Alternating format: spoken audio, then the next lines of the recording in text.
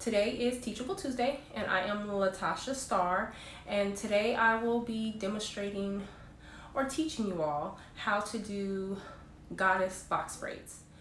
Okay. So, for medium sized box braids, okay, if you watched my live with the knotless box braids, it's the exact same method when it comes to parting. Okay. So with my medium box braids, I like to do four braids at the nape area. Okay.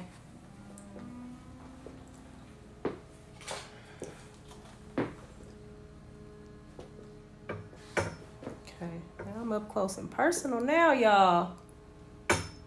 There we go. Okay, so y'all can see that? Is that a good view? I just don't want to be in the view. Okay. Put her head down because I can't see. All right, so that looks about right. Okay, now for box braids, I do like to use, again, either one of these, okay? This is what I like to use, so we can do this one, or we can do this one. Oh, Shine & Jam, sorry. Okay.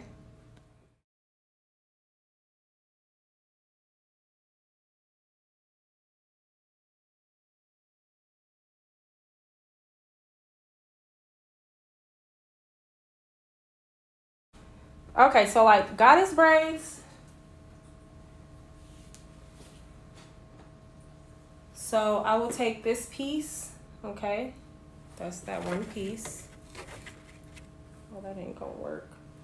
And then I'm gonna take half of this because I'm gonna use half at the top and then the other half towards the end, okay? Some people call it boho braids. Um, it really all just depends on where you're at. Okay, so me, I like to add the curly hair with the regular braiding hair. Okay.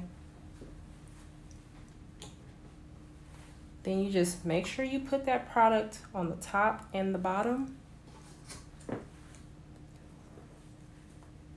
Now you can twist it with your fingers or you can twist it with a comb as if you was about to start like a, a, a dread. You know what I mean? Like if you was about to start somebody's dread. Um, I just twist it with a comb. To me, it gets a little more uh, tighter to the scalp. Okay, can y'all see that? Y'all see that? So that's how that looks. And it'll stay like that, okay, with product on there. Then we're gonna separate the hair. And I like to separate like this.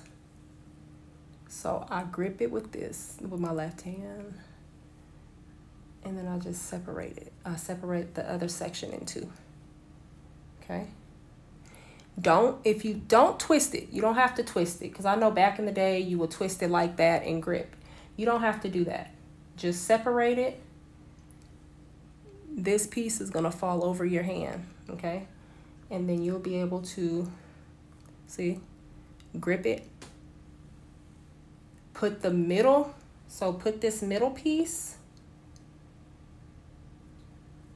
Oh, y'all, if I can get it. Oh, I missed my nails, y'all. This middle piece is gonna grip this piece. Okay. All right, let me get my fingers right. Okay. Y'all can see. Damn, y'all can't really see. I'm trying to get y'all to see. Okay. There we go.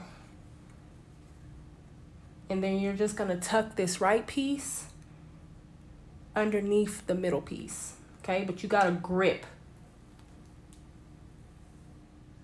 It's hard because she kind of moving, but maybe if I put my foot right there. Y'all. Okay, I'm gonna have to turn her, okay?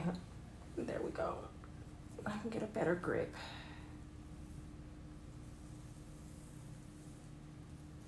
You just start to braid. Okay. Then you will release this curly hair. Don't forget you have the curly hair. So take that curly hair, remove it, and continue to braid.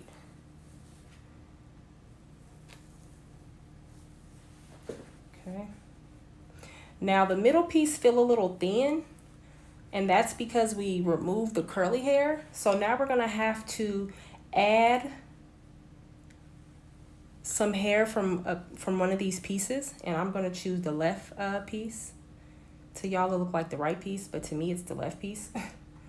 and then I'm just gonna go underneath, okay?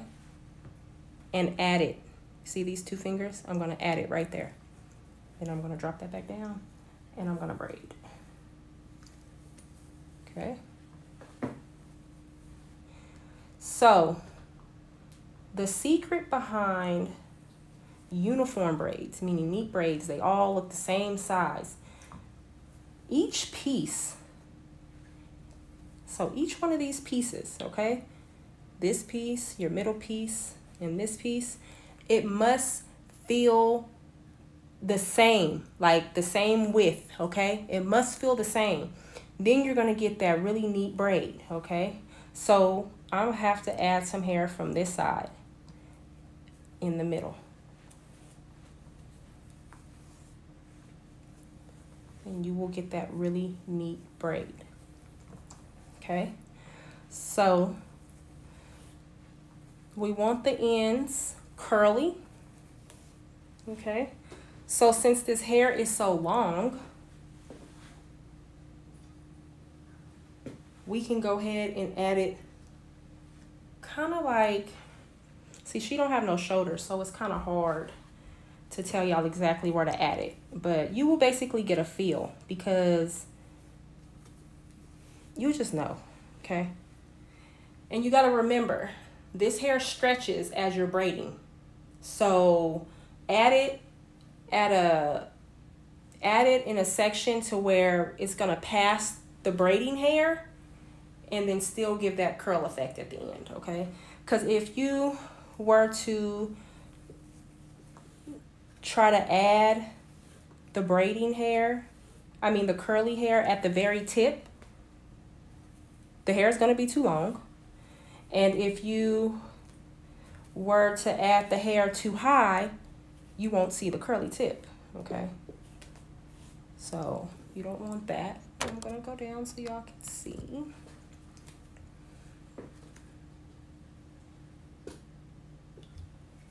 Okay.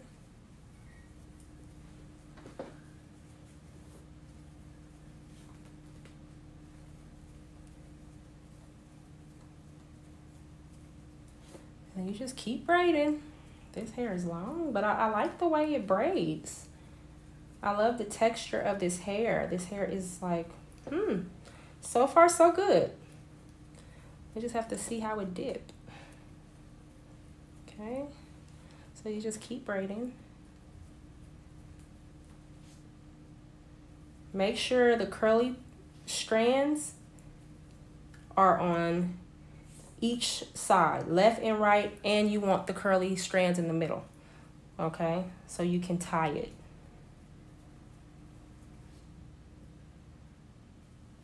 So I don't know if y'all know how to tie it, but I'm gonna show y'all. Okay, so I'm gonna just tuck this up here so y'all can see how I tie. So you will basically, okay, so I still have three pieces, right? So just take a thin piece from each side, whichever side you like, okay? Then you're going to wrap that around, okay? And then pull it through the loop. Do that twice. Wrap around, pull through the loop,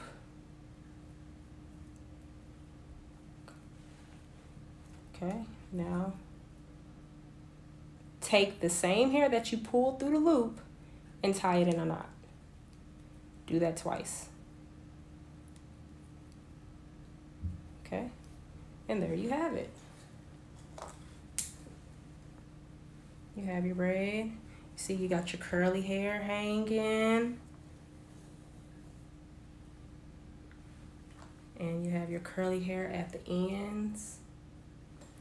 And with that method, I like that method a lot because it's really no tension. So it's like you'll be able to put these braids up immediately, okay? After you do someone's hair. Now, don't get me wrong, you can't put it up and put it in a super tight ponytail, but you'll be able to move these braids around, okay? See that? You can move it around. I actually got a video of me doing that to my daughter's hair. I'm gonna have to post that. Okay, so that is that method. Okay, if you have any questions about that, feel free to drop them in the comments below, okay, so I can answer them during Q&A. And for anyone who have just joined, welcome, okay? And that's that. And again, y'all, thank you all for joining me for Teachable Tuesday. I am Latosha Star, and I will see you next Tuesday